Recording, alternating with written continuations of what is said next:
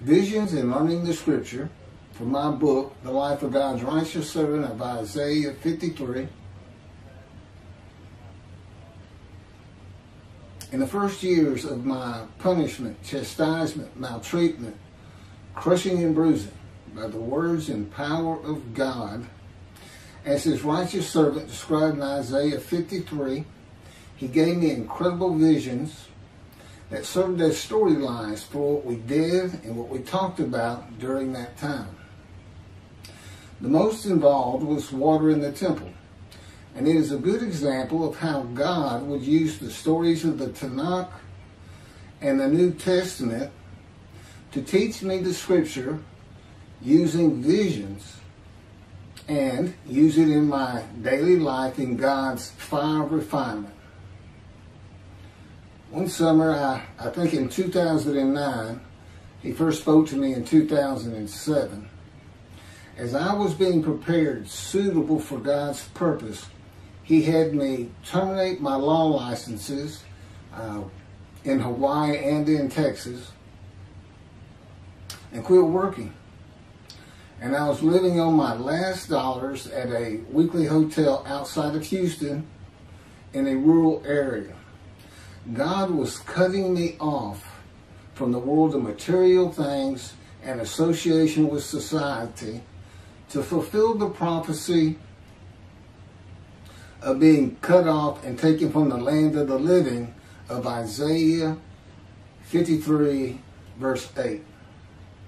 I was in his grasp every moment of every day, my every move at his direction, listening and talking to him.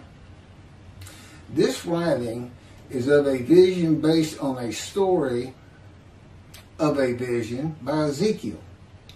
God taught me through much mental duress and anguish how to prepare for a vision in a meditative state of mind.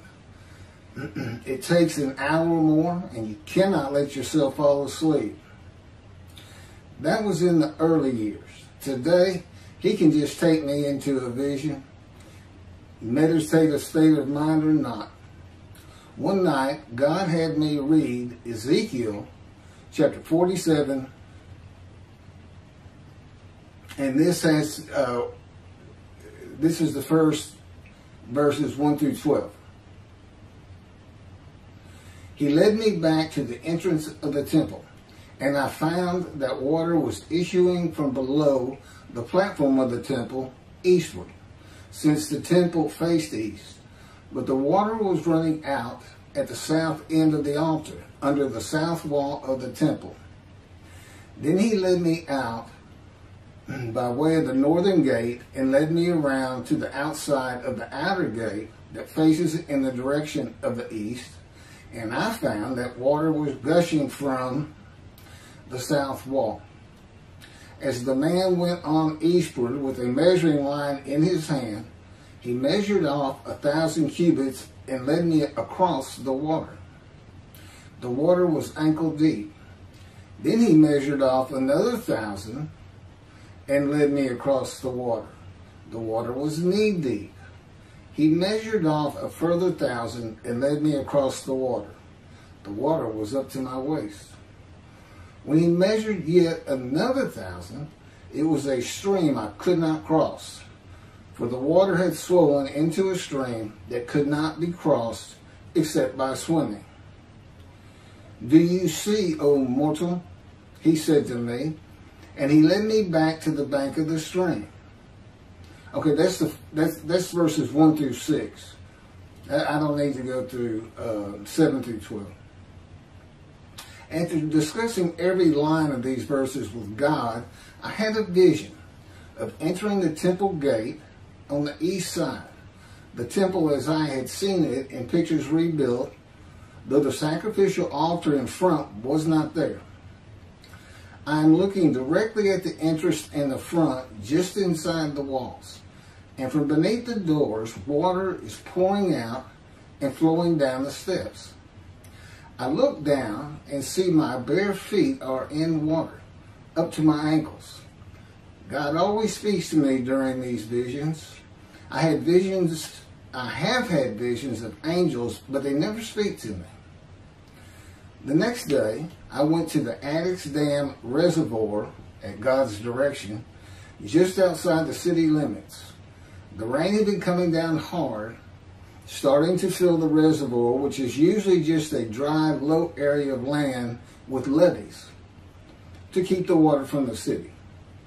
God had me take off my shoes, which was unusual, and head to a path that went up and over the levee, which is about 30 yards high in walking distance, and into a barren forest.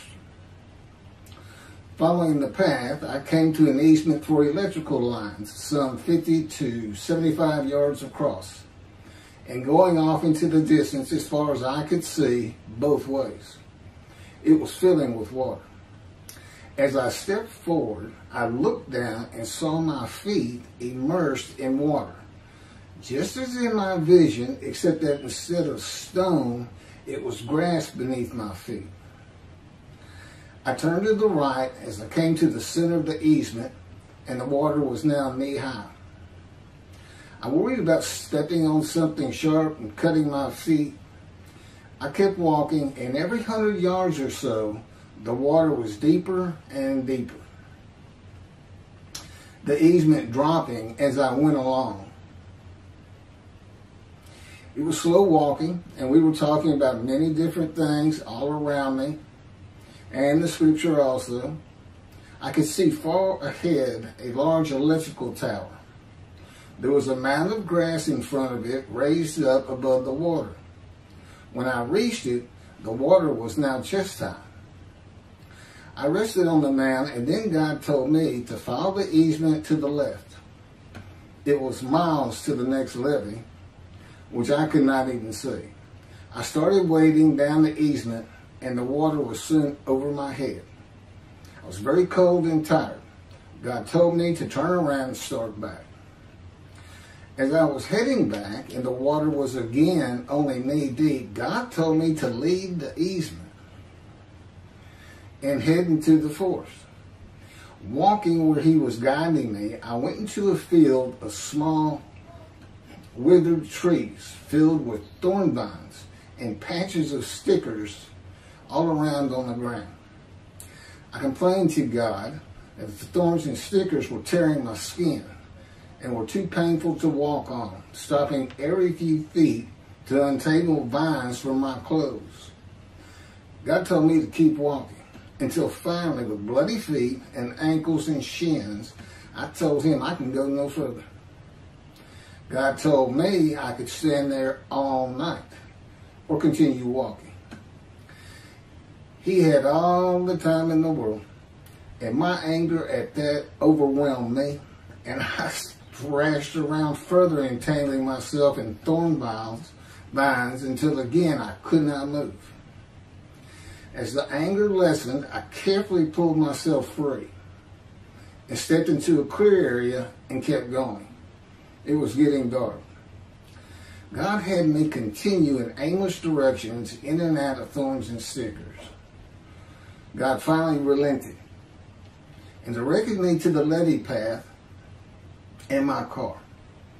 This punishment of walking barefoot through thorns, vines, and stickers was for me.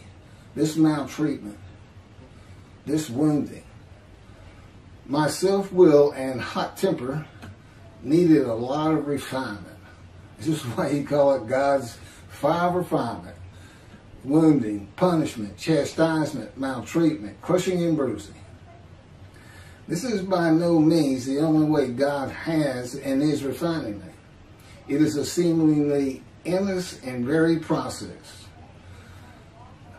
This is the 13th year since he spoke to me in 2007. And he does not sleep, which means I don't get to sleep much. Two or three hours a night between him and the angel of his presence, the Holy Spirit, they always have something to say, something to make me better, some new pain to show me they can inflict on me. and it continued, I tell him, wait a second, I've, I, I've put together the two books that you dictated to me, which really took about five years of learning, five years of writing uh, in a blog, and then about a year plus to put the first book together, Isaiah 53 and the Day of the Lord. And we just did the book that this chapter comes from here recently, and it didn't take any time at all. Most of it is done, this refinement, in his words and power in the room that I live in. He told Ezekiel, Go to your house. I bind you with the cords of my power. You shall not go out amongst the people. He told me, Go to your room. Actually, I take care of my elderly parents, 92 and 85 years old, in exchange for room and board since I don't have any money until recently when I filed early for Social Security. But I give almost all of it to them uh, just to make up for 10 years of being here. How Ezekiel's vision and my vision and the story of my day in the flooding reservoir and fields of thorns and stickers are to be interpreted with the meaning for this day of God speaking to his prophet again has not been told to me. Some visions are just for a good story. My vision in the temple was just for me and preparing me for the next day of refinement of my uh, soul, spirit, and self. Another example of a vision that served as a storyline for teaching me the scripture began in the Houston City Memorial Park, where God had taken me out for exercise. This was a bit, he takes me out for exercise. Sounds funny. Every time I say it, it makes me think of taking your dog out to get a walk. This was a vision in spirit rather than body. In the vision at the temple, where I could see my feet in the water, I was in body. In a vision in spirit, you do not have a body. And even spirit cannot see spirit. That's what the angel of his presence tells me. The, the Holy Spirit. They, they, they, they don't always explain everything to me. I, am not on the uh, executive committee by any stretch. I am a servant. I'm a servant that needs a lot of refinement. If you were to uh, pick up this book, you'd see that there's about seven chapters of my life as quickly as possible, mostly just setting forth major traumatic injuries I went through. And then I think it's chapter seven, it's entitled God Speaks to an Atheist. And I was, you know, I've gone 50 years and had nothing to do with God or religion or even people who were religious. Because if you talked about God or Jesus around me, that was it. I wasn't going to talk to you ever again. I didn't want anything to do with it. I had just been banged up too much in my life and I just didn't care for any of it. Had never read the Bible.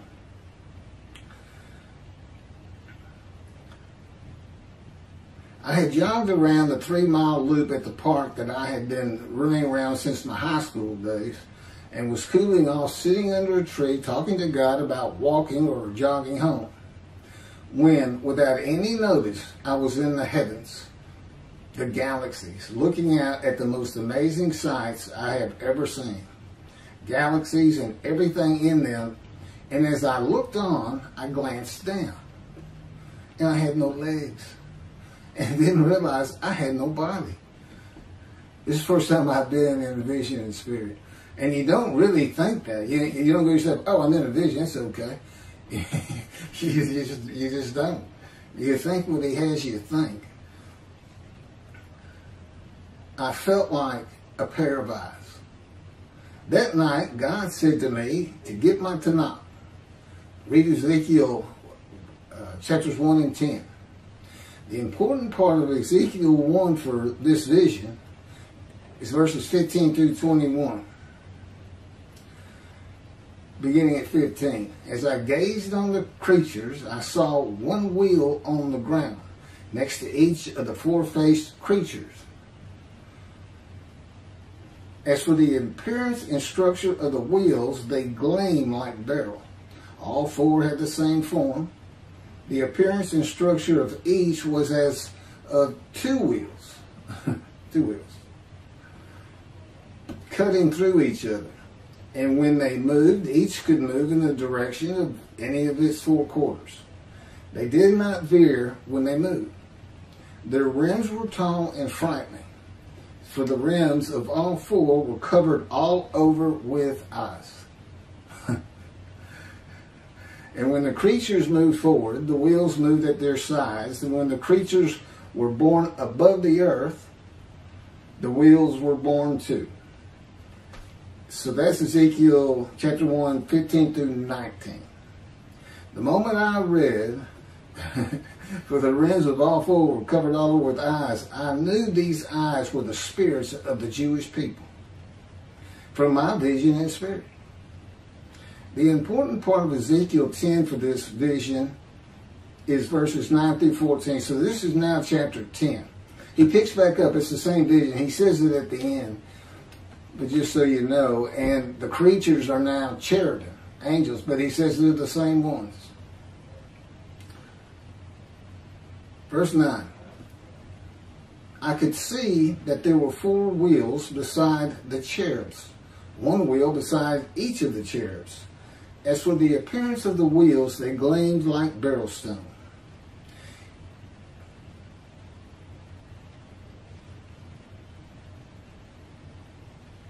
The cherubs moved in a direction in which one of the heads faced without turning as they moved. Their entire bodies, backs, hands, and wings, and the wheels, the wheels of the four of them, were covered all over with eyes.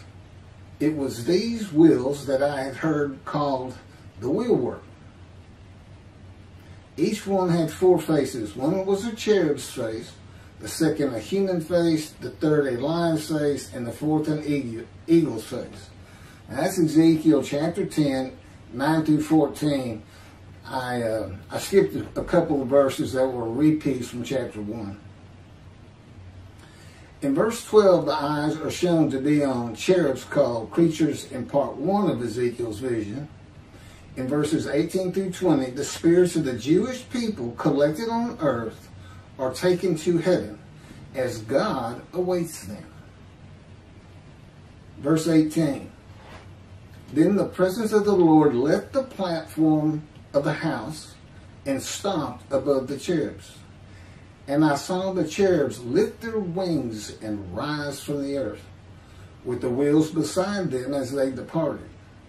And they stopped at the entrance of the eastern gate of the house of the Lord with the presence of the God of Israel above them. They were the same creatures that I had seen below the God of Israel at the Chebar Canal. So now I knew they were cherubs. That's Ezekiel chapter 10, 18 through 20. There is also an account in Ezekiel 37 of the resurrection of the dead that begins in verses 1 through 6. This is verse 1.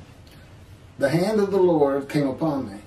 He took me out by the Spirit of the Lord and set me down in the valley. It was full of bones. He led me all around them. There were very many of them spread over the valley, and they were very dry. He said to me, O mortal, can these bones live again? I replied, O Lord God, only you know. And he said to me, prophesy over these bones and say to them, O dry bones, hear the word of the Lord. Thus said the Lord God to these bones, I will cause breath to enter you, and you shall live again. I will lay sinews upon you and cover you with flesh, and form skin over you, and I will put breath into you, and you shall live again, and you shall know that I am the Lord. The Rambam, Maimonides, compiled what he refers to as the Slosha, Asar Akarim, the 13 fundamental principles of the Jewish faith, as derived from the Torah. Maimonides refers to these 13 principal faiths as the fundamental truths of our religion, and its very foundations Number 13 of the 13 fundamental principles is the belief in the resurrection of the dead. Ezekiel 1 and 10 are together a vision of the resurrection of the spirits of the dead to heaven.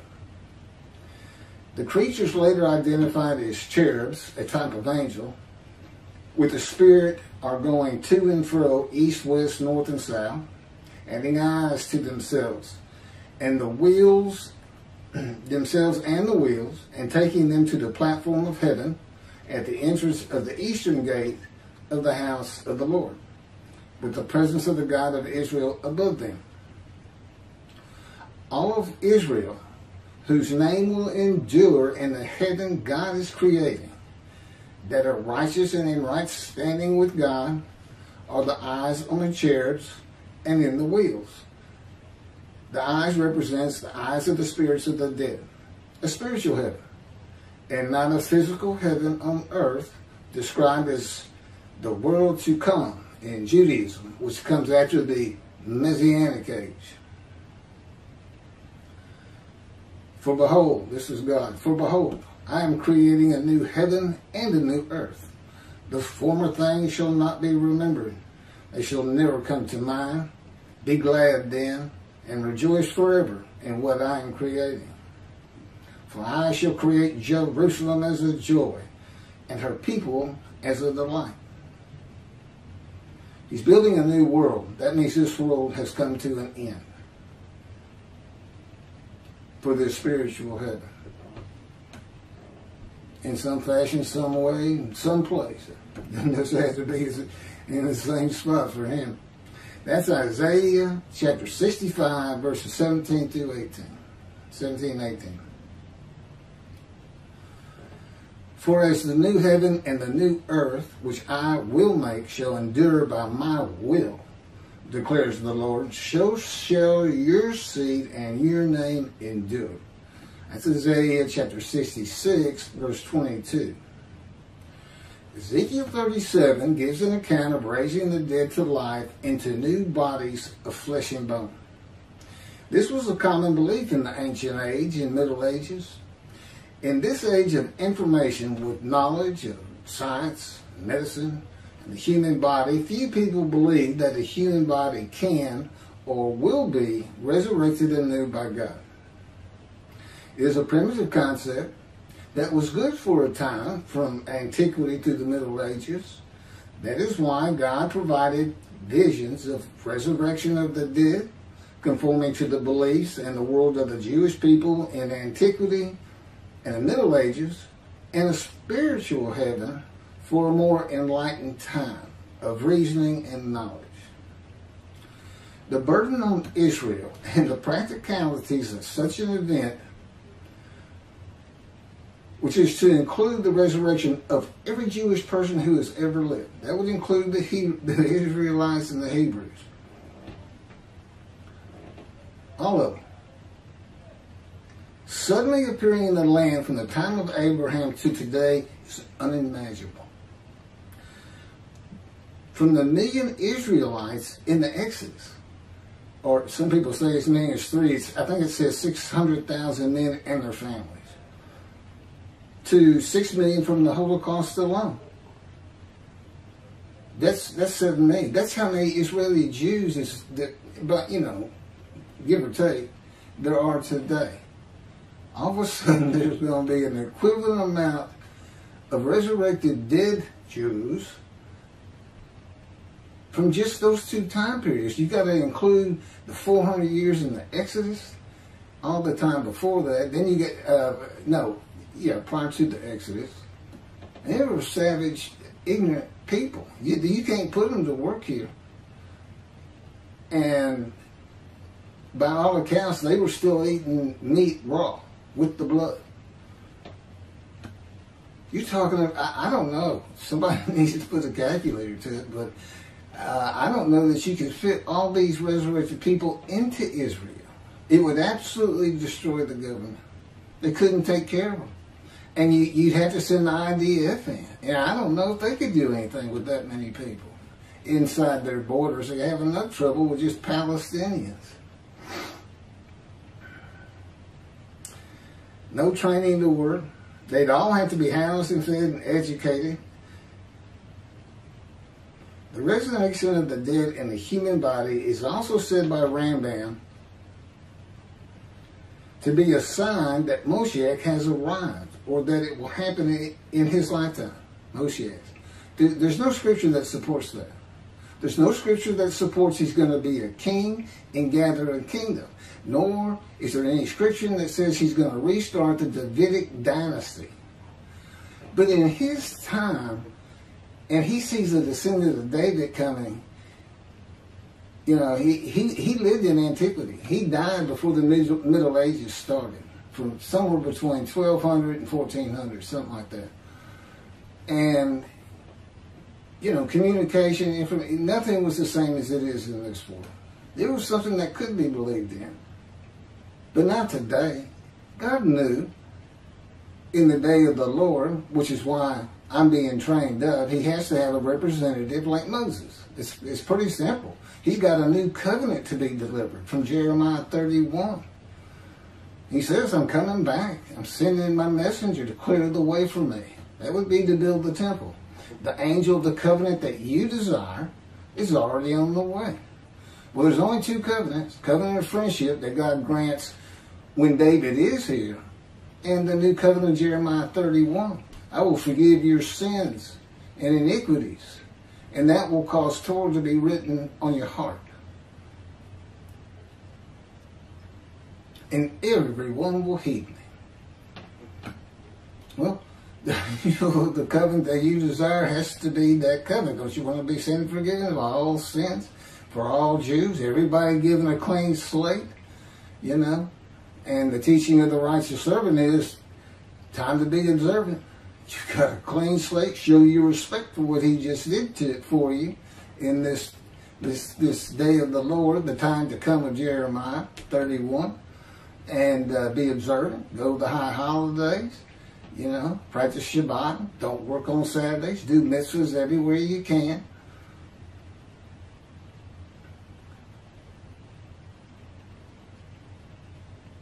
So I, I, I am Moshe. Okay, I'm the descendant of King David because the Spirit of God alighted upon me and entered me as, as the Spirit of God did with Ezekiel.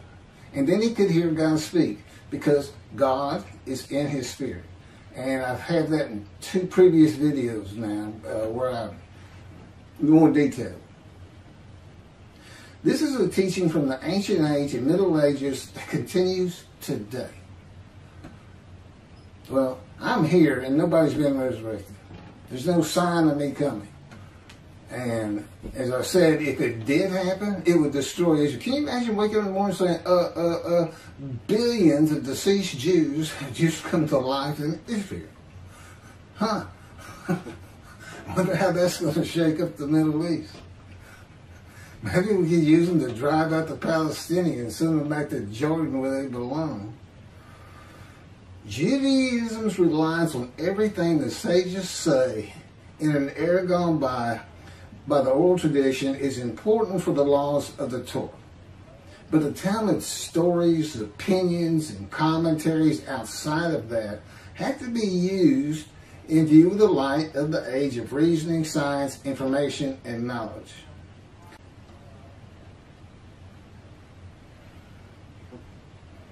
And, and you have to you have to to re-verify that these beloved men such as and brilliant men, there's no question, who dedicated their life to the Hebrew Bible, the scripture, and uh, discussion of matters in the Talmud, commentaries. But you need to double check them sometimes. In the Messianic era, it is said that the entirety of the world will speak Hebrew. So, does that mean when Moshe gets here, he needs to fly to China where one third of the world's population is speaking Chinese and get them all to speak Hebrew? Do you think that's going to happen? Well, I got news for you. Moshe doesn't even speak Hebrew, much less Chinese. So that's going to be a definite issue.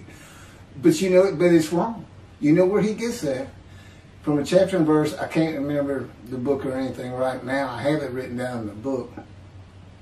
God says he will make the peoples of a pure speech. So he takes that phrase, like a Christian just taking one phrase out and, and leaving the parts that are kind of conflicting with what his commentary is going to be his opinion. He says that means everybody will speak Hebrew. Well, look at the verse before. You'll find out he's not talking about the world. Just go read it yourselves. Uh, you can find it. You do a search on it. Um, no, the peoples of pure speech are the Jewish people in Israel. And guess what? It's true. they speak Hebrew now. That's the official language along with Arabic in the state of Israel. But it's not the world. And yet that's part of the Messianic era. The world's going to lift up and exalt and love the Jew. Well, again, is Moshiach going to travel to China? Is he going to get them to do it? Or is God going to wave that magic wand of his? You know, God is, is creating this, this, this heaven for the Jewish people with the name Israel shall endure. No Christians ever invited. No Gentiles. They want to go to heaven and see God's heaven. They're going to have to convert to Judaism and become Jews. And um, that, and the reason is because when He forms an angel, He has to create their personality. What He's done here on this earth, and by selecting a chosen people, the Jewish people, is force them to go through incredible suffering of a magnitude we can't even imagine. The Holocaust, pogroms, you know, on and on. And he does that because because it makes them the kind of people he wants. People who can overcome, people who who are compassionate towards others. And uh, it's part of the reason they think Isaiah 53, the current teaching today, not what the sages said, not what Rambam said, but apparently what Rashi did say, although there's some conflictions on that. But anyway, uh, uh his own his own inconsistencies. I don't know if confliction is a word, but anyway, um, I'll get back to it.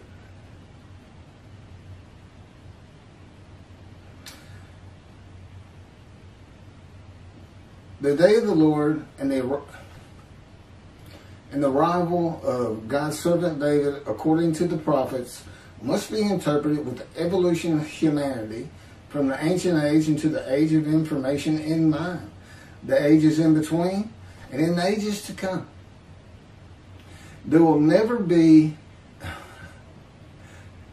and Rashi was, Rashi was, or said to be the, the first uh, rabbi who thought that Israel was described in Isaiah 53 primarily because of, of the God's fire refinement uh, that he put Ezekiel through, where he uses words like crushing, bruising, maltreatment, chastisement, punishment, wounding.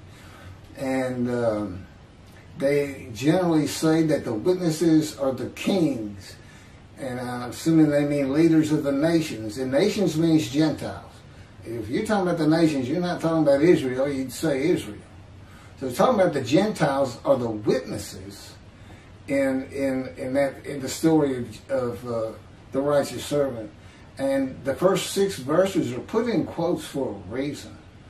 It's a demarcation from the three verse quotes that begin his description in chapter 52, 13 through 15.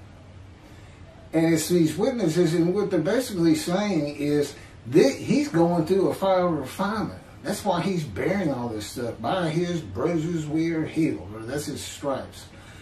He was wounded for our sins. Well, they're, they're unrighteous. That's their sickness. Their guilt is making them sick because that's what he offers himself for. Okay, now you're the righteous servant. Go make the people righteous that, that you can draw to you. That's what the story's about. Yeah. Why, why is he making the righteous servant? And, and well, anyway, that's what. And there's no crucifixion, by the way.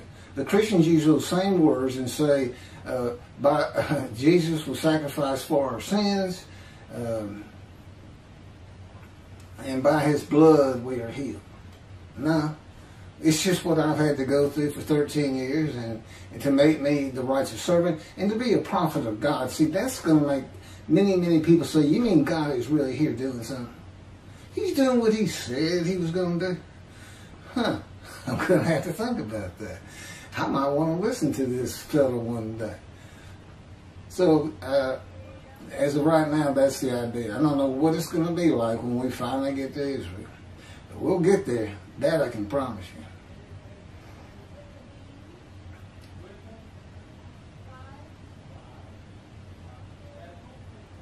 the Israeli government will not be replaced and the kingdom created. That's what I was missing. Knew it was going to be a democratic country. It was all things. He, he, he has walked from the beginning of mankind to the end of this earth. The evolution. And see, okay, well, that's too detailed. But anyway, yeah, of course he knew. Of course he knew it wasn't going to be a Davidic dynasty restored.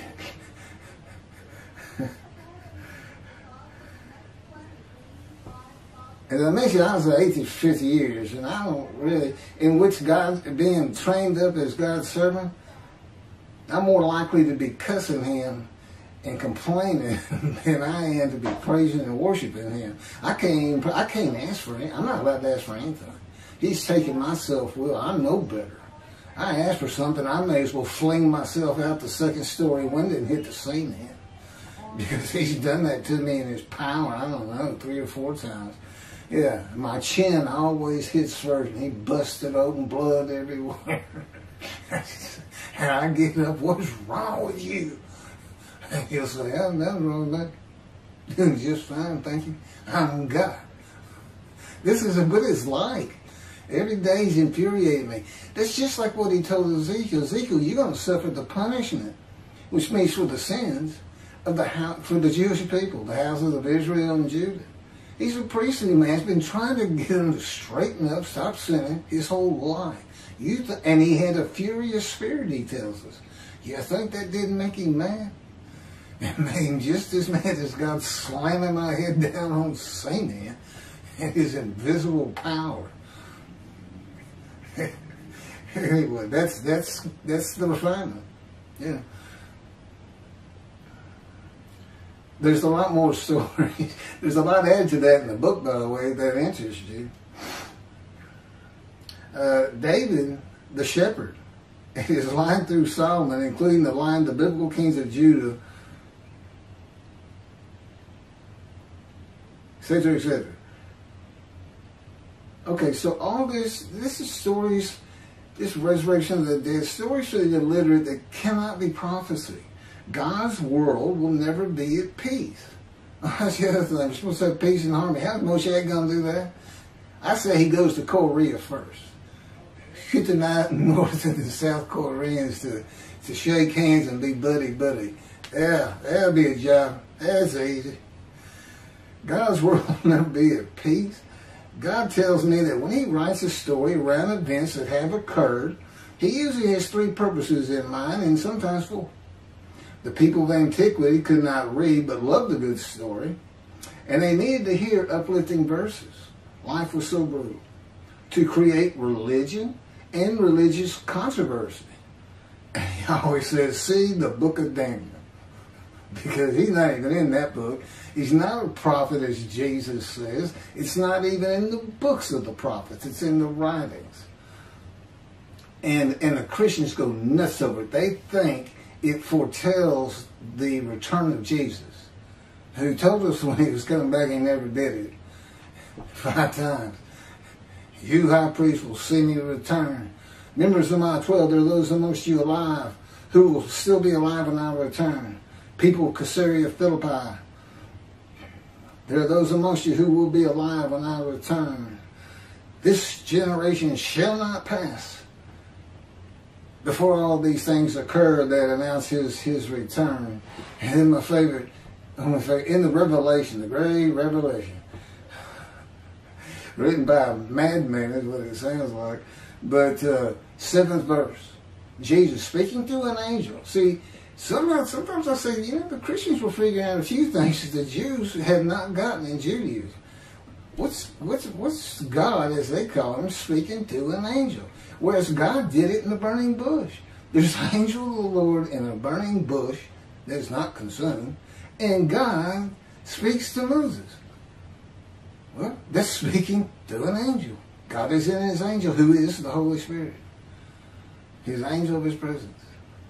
So anyway, they picked up on that, but, but, but this is what he said. Those who pierce me with a spear will see me return. That would be the Romans who stabbed him with the spear to make sure he's dead on the cross. And so oh, all dead. he's not coming back. And in the last page of the Revelation, three different verses. I'm coming back quickly. I'm coming back quickly. I'm coming back quickly. well, I don't care who's saying it. 2,000 plus years later is by no stretch of the imagination quickly. What a religion. God performs human sacrifice so the Gentiles not, can be forgiven of violating his laws, being guilty of violating his laws and commandments. Uh, another reason to make the Bible fun to read and for prophecy. The visions that I've learned in every single book that, that he taught me, you know, Keith, read this, read that, read the New Testament third chapter or something, you know. Um, he t- I've had some kind of vision. They were different. Body, spirit, visuals. I can be I can be wide awake and, and have a vision. One time, the first time he did that, I could see the feet in a large uh, robe walking through the clouds above me, and I'm out on a busy um, six-lane street, and I'm looking at it as though it's as real as can be. Didn't faze me, but. Uh, the stories I have, I mean, 13 years, day in and day out, just me, him, the angel of his presence, the Holy Spirit. And they don't sound like, uh, like each other at all. God sounds like an adult man. The angel of his presence sounds like an angel. He's got almost a, a childlike voice. And uh, he's, he's just, he, he just, he's, he's the greatest comedian that ever lived. He keeps me laughing when God has me crying. without him in this, I, I well, God had drug me through it, but it's the reason I laugh and smile today. I didn't for 50 years of my life. I was always looking to get into a fight with somebody. Just because it made me feel better. But uh, God's knocked all that out of me. He can still irritate the fire out of me. when he came to me, I was an atheist who had never read the Bible, never was, okay, I've already said all this. God wanted me, he kept me, he told me, no, I steered you away from anybody that could uh, teach you anything about the Bible or religion, you know, except a little bit that made you not like them. Uh, he wanted me to be a Bible and religious blank canvas for him to paint the pictures of biblical understanding in my mind as he would have his stories and prophecies understood. Remember, God's dictating this. I think it's pretty good prose. Good job, God. God's interpretation of his book.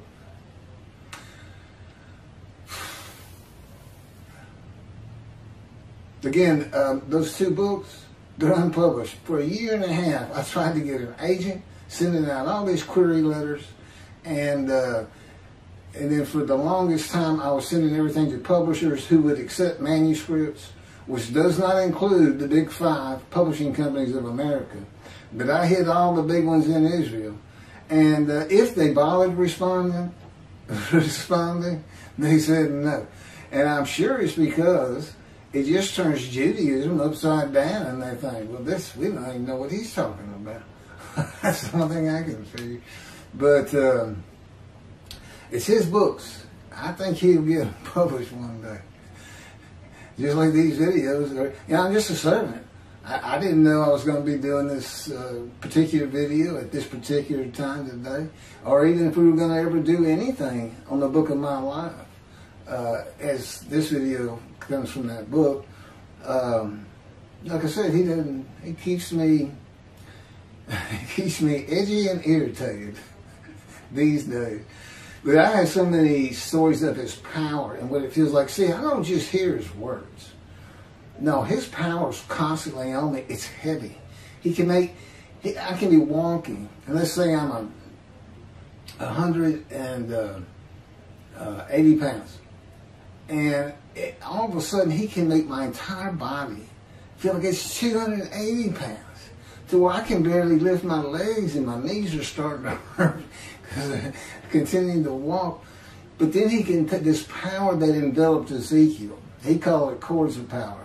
It envelops me too.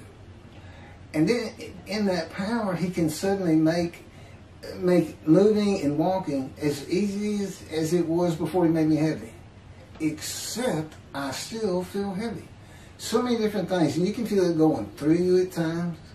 Um, sometimes, you know, the power uh, is it's great to have. It feels so good. It makes you can make you so calm. But usually he uses it to hurt me, like slam me to the ground, things like that. I know. Listen, if you go, oh, God wouldn't do that. That's pretty much what I was saying. Well, gee, are you sure you're God? you laugh. He laughs all the time. and, and he'll laugh using me. Because I'll be livid. And all of a sudden, this is what you hear. I'm like, did, did you just laugh and slam me down to the cement or on the ground? see, I know it's not me. Y'all, y'all can't tell for sure. He could be acting if you don't believe me, but it's true. He can talk through me. I mean, I'm looking in the mirror one day. I had never seen him do it, and all of a sudden he jerks my head up in that power. That's face to face, by the way. He just takes your head, points it, get your eyes and sit right here. This is where now we're talking face to face. This is where I am today. I said, okay. All of a sudden my head goes up and I can't remember the conversation, but all of a sudden he just starts saying something to me using me. The voice was a little bit different, but the, the thoughts of those words weren't coming from my mind. And the Holy Spirit made me laugh. He says, Don't you think that's wrong of him to do that? To use you, to talk to you in the mirror, don't you think it's know, he did, he did, you know, a lot of people don't have my, the way I laugh, my humor, uh, and he can be however is necessary because he knows me as God knows me. They, they've been in me since birth. Well, since the first year. The Holy Spirit says, why would I want to be in a womb? We've waited for you to be born. Because that's what Jeremiah calls it. He says, God has been with me from the womb to make him a priestly man, godly man, a good man. With me, it's all opposites. He said, God said, no, you had to have a, life of, of suffering and be familiar with the disease. And he goes through these actions. He'll take me back to um, envision, you know, being gut shot. He said, that's, that's when I got your cancer going with the tumor because I had colon cancer. The blood went through my colon. And I always thought it activated dormant cancer cells, the trauma. He said, no, I didn't. And he said, in, in, in orchestrating you getting gunshot, which he shows me what he did, he said, he said, that's just more suffering scars and stuff. you know, disfigured me at birth. I don't have a right breast. See, the man of Isaiah 53, I'm the exact opposite of the, Jesus Christ. The exact opposite. Blemish, defective. You can't offer me as a sin sacrifice. Guilt rams, you can't offer me for anything. And that's the man of Isaiah 53. It's, it's to make sure I can discredit him as his righteous servant when we get this thing going. That's you know, and I, I was I was I was can't sin anymore. I was a sinner. I wasn't a habitual sinner, but it turns out he took me back and showed me kind of like Scrooge and the ghost of Christmas past. And I'd say stuff like, that's a sin. He said, yes, Keith, that's a sin. But anyway, I can't do anything of my own anymore. He's got that power on me, control my thoughts and minds. So I'm sinless now. but uh, but yeah, I was a sinner. I, I wasn't teaching at synagogues when I was 12 years old. You know, I don't have. it's total antithesis of who he is. And by the way, if you get this book or watch some of these tapes where his name's mentioned, some of the deceits and lies that come from his mouth that's in their book, especially when they say to fulfill the prophecy. Jesus says, all the prophets say of me, I shall ride this ass into Jerusalem. and there the Gentiles will mock me, spate on me, spite me, scourge me, kill me, but I shall rise on the third day. As all the prophets say to me, all you got to do, if you're a Christian, you read that, is go, I think I'll verify that. You know what you're going to find in your Old Testament, the Hebrew Bible? Nobody says it. You got 20 prophets right there. And none of them come close, but you go, hey, wait a minute, here's riding an ass into Jerusalem by Moshe. Oh, yeah, Zechariah. What, what does that say? It says he rides, he rides, a, oh, not ram. He, anyway, he, he rides an ass into Jerusalem. Next verse. Instead of it saying he's going to be, the Gentiles going to mock, scourge, and, and kill him, no. says he goes in and, and breaks down all the swords and arrows and and, and, and, and makes the countries of the Middle East surrender to him and he becomes king of everything. And, and that's what the prophecy says. That's, that, that is the prophet he's referencing. You know, you know why they could get away with that in antiquity and the Middle Ages? Nobody could read. There's no bookstores, no scroll stores, if you could even get your hands on them. That's how they got away with that. But you can't let the Christians get away with it anymore. And that, you know, his wrath on them, that's my biggest task. I've written as the prophet like Moses. I have announced in those books and on tape, the new covenant is here. Every Jew in the world sin free right now to be a holy seed to build the third temple. Just as he did for the Assyrian Babylon exiles, forgiving their sins, and they built the second temple as a holy seed. Uh, of course, very few people know about this. But, uh, yeah, this is God's day. I figured he's going to get it done. See, he won't tell me what tomorrow brings. You know, he, he just doesn't. I, I got to continue in the human existence. He's like fall down and hit my face on the cement. He's got a justification for everything. You can't, you know, I know the Jewish people say, well, you can argue with him because Abraham did. Go ahead. you can honor till you're blue in the face. You ain't never gonna win. it's just yeah, you can't win. He might let you think he won, but he's probably got an evil purpose behind it. That's the Holy Spirit speaking through. Anyway, she get the book, and uh, I'm, I'm sure we're going to do a few more chapters out of it. Thank you for listening. Have a good day.